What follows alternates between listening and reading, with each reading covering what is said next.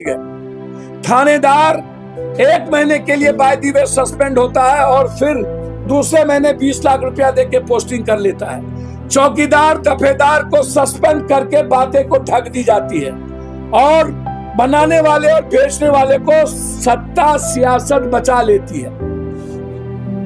सिर्फ़ सत्ता पक्ष तो दोषी नहीं है, नेता में सभी लोग इन्वॉल्व हुए हैं और जो लोग सबसे ज़्यादा शराब बेचते थे वो लोग एमएलसी वो लोग एमएलए का टिकट लेते हैं। तो आप कैसे किसी एक दूसरे को गाली दीजिए?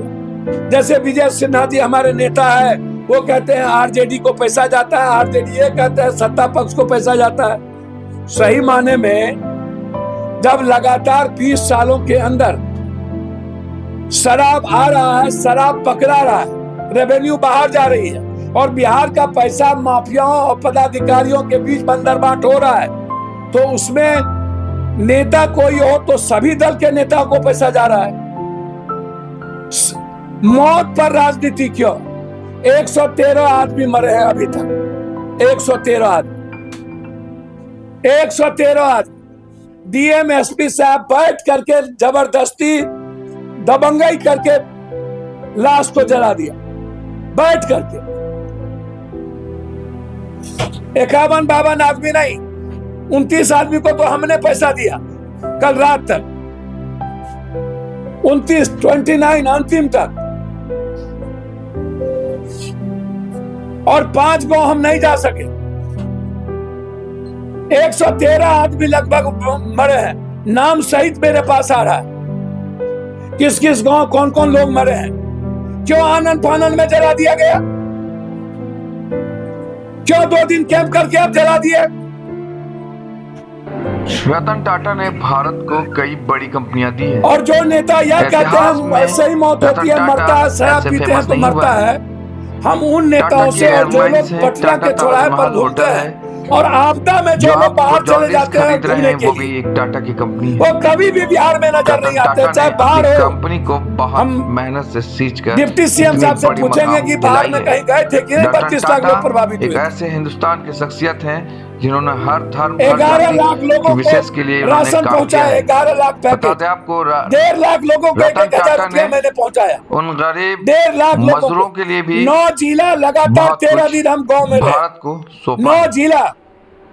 हालाँकि आज उनकी नम आँखों से हमने सत्ता और विपक्ष को नहीं देखा। रतन टाटा तब इनके पास हेलीकॉप्टर नहीं होते हैं। मेहनत से सींच अरे सीमान आप बगल में था नहीं जा सकते थे कमर आपका टूट जाता। की जाए वो तो हम जानते ही सत्ता। पक्ष और विपक्ष की कमर टूट जाती है। रतन टाटा ग्रुप आंदोलन किसी से बिहार में जाना जाएगा तो निचले प्रधान से विपक्ष के नेता के नाम से जाना जाएगा। विपक्ष के नेता आंदोलन के माहिर हैं। कुछ देर में हर दो दिनों पर इनकी यात्रा रुक जाती है।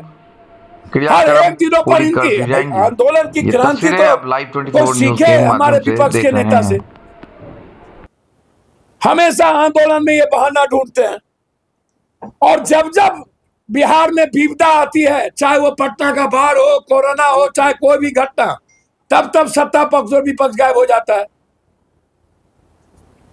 और हेलीकॉप्टर से पाँच दिन के बाद हमारे नेता जाते हैं और उनको कोई डॉक्टर कुछ लोग दिखा दिया जाता है दरभंगा में, ऊँचे जगहों पर वो लौट जाते हैं।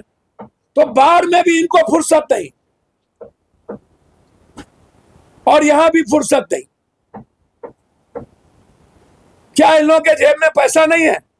और कुछ लोग जो पैसा दे करके अपना न्यूज़ चलवाते हैं, क्रांतिकारी लोग साठ लाख का टेंट में रहते हैं, वेनिटेड बॉल में बैठते हैं और क्रांति करते हैं कि बाप रे बाप, ना मुसारी गया, ना पासवान टोल गया, ना चमक टोली गया, ना डोम टोली गया, ना निषाद टोली गया, ना केवट टोली गया, ना गरीब टोली गया, ना बाढ़ में गए, ना तूफ़ान में गए।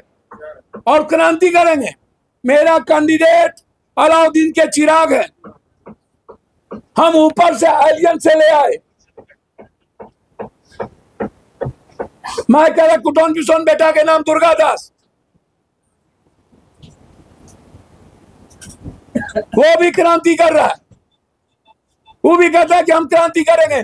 जितना retire I S I P S लुटेरा, वो कोर्ट टीम के महात्मा गांधी हो गए।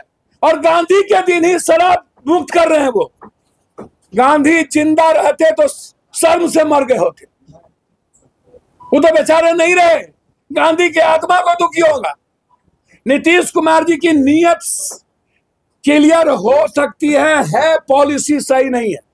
नीतीश कुमार को शराब के इशू पर पॉलिसी चेंज करनी चाहिए। और बिहार में आप शराब मत चलाइए। शराब पर टैक्स सेवेंटी प्रतिशत बढ़ा दीजिए। जहरीली शराब का प्रतिज्ञा लीजिए और कानून लाइए। आजीवन कारावास का, डिस्चार्ज का और इंग्लिश शराब आप सत्तर प्रतिशत बढ़ा के आप कोई ठेका मत दीजिए। गवर्नमेंट साइड से आप five star four star two star और जिला में एक और थर्टी से ऊपर लोगों को आप दुकान पर दीजिए शराब